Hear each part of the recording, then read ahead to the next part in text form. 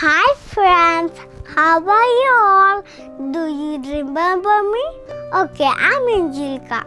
Moses became prince of Egypt. Many years later, an Egyptian princess found the baby in a basket. The baby was an Israelite called Moses. The princess took Moses to her home, and Moses grew up as a prince of Egypt. Exodus chapter 2, verse 1 to 10. Please subscribe my channel, like and share. Bye friends. God bless you all.